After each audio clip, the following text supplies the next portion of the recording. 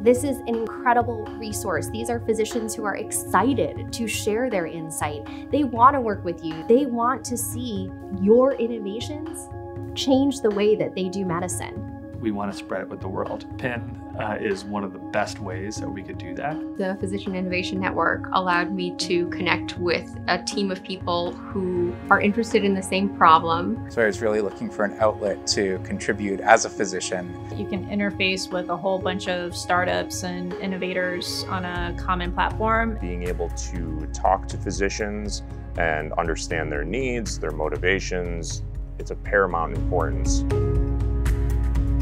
really have a product succeed, it's got to fill a need.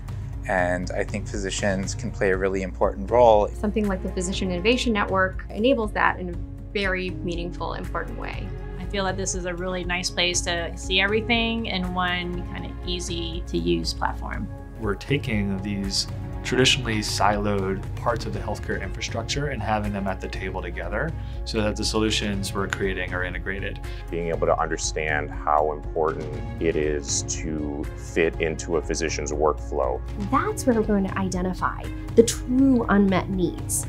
And we are going to develop solutions that are meaningful on a whole nother level. I'm Nick Doherty. My name's Andrew Schramm. My name is Manny Barenci. My name is Paulie Liponis. My name is Lily Stairs. My name is Rachel Meltzer, and if we want to create a future that looks how we want it to look for our patients and for the population at large, we need to be involved. So there is never a product or a service that comes to market that hasn't been co-created with the people it is designed to serve.